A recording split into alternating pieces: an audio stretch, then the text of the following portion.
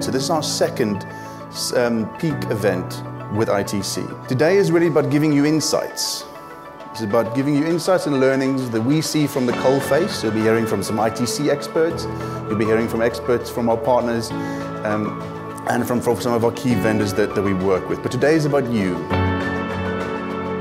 Today is about giving you insights, visibility into what we see as the key topics in cybersecurity.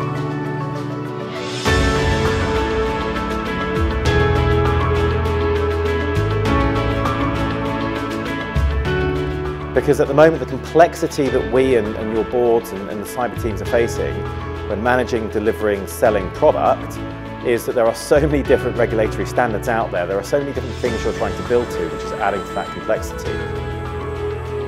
So we are beyond the realms of somebody sitting in, you know, a teenager sitting at their desk at home having a bit of a hack.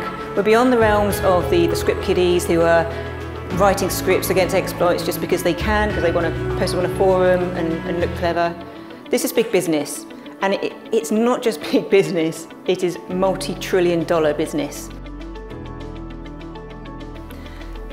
If we carry on the way we're going, by 2025, this will be a $10 trillion business in the world economy and growing.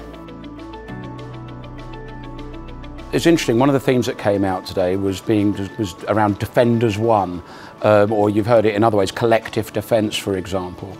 And that's really interesting. And, and we don't, you know, no matter that we invest heavily in people, process, technology to deliver as much as we can to our customers, we can't do it as our own. You know, no one MSSP is an island, as it were.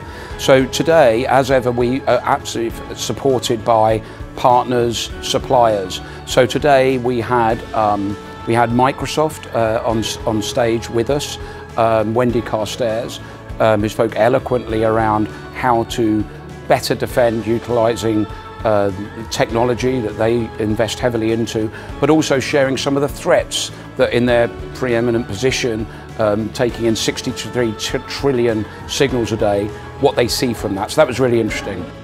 In March of this year, Microsoft announced their Security Copilot, which is the incarnation of artificial intelligence in the realm of cybersecurity. This new innovation and this new program that ITC is proud to be a part of is going to drive the next paradigm shift from the attacker's advantage to give the good guys and the defenders the advantage in the world of cybersecurity. We're very much looking forward to the next ITC Cyber Summit at the end of January 2024. It'll be a great time to break bread with our clients, our partners, our network, look back at the year that's gone by, but also look at what the year is ahead and what trends our clients should be looking out for in the time to come.